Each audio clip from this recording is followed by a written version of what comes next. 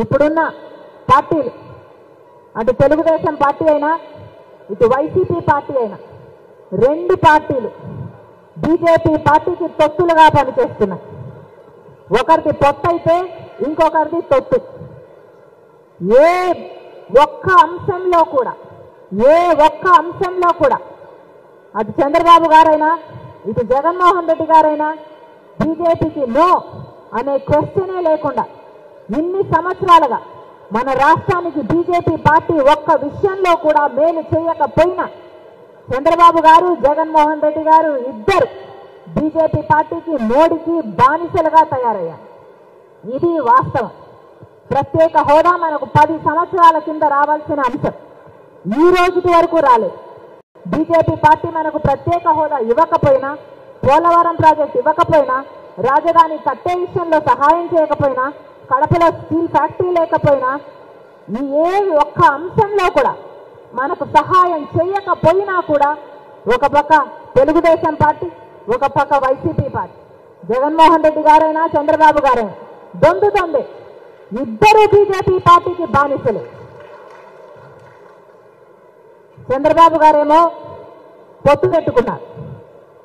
రెండు వేల పద్నాలుగు మళ్ళీ విడాకులు తీసుకున్నాడు.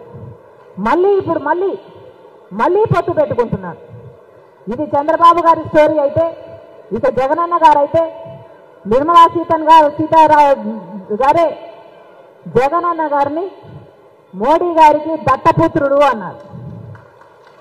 ఇక వీరికి పొత్తులు లేనట్టు ప్రజలు ఎలా నమ్ముతారు? ఒకరిది బహిరంగ పొత్తు అయితే ఇంకొకరిది రహస్య పొత్తు. ఒకరిది సక్రమైన పొత్తు అయితే ఇంకొకరిది అక్రమమైన పొత్తు. వాస్తవం కాదా? ఇద్దరూ పొత్తులు పెట్టుకోలేదా?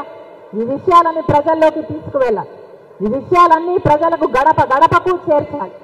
జగనన్న గారైనా చంద్రబాబు గారైనా ఈరోజు బీజేపీ పార్టీకి బానిసలయ్యారు కాబట్టి మీ ఓటు వృధా చేసుకోకండి అని జనాలకు చెప్పాలి. మీరు బీజేపీకి ఓటు వేయకపోయినా తెలుగుదేశం పార్టీకి ఓటేసినా వైసీపీ పార్టీకి ఓటేసినా అది పడేది మాత్రం బీజేపీ ఖాతాలోనే. మళ్ళీ బీజేపీ పార్టీ కేంద్రంలో అధికారంలోకి రావాలంటే వీళ్ళిద్దరికీ ఓట్లేయాలి. మళ్ళీ బీజేపీ పార్టీ రాష్ట్రంలో రాజ్యం ఏలాలంటే ఒక్క సీటు గెలవకపోయినా మళ్ళీ మన రాష్ట్రంలో రాజ్యం ఏలాలంటే వైసీపీకి ఓటేయాలి లేదా జనసేనకు ఓటే లేదా టీడీపీకి ఓటేయాలి.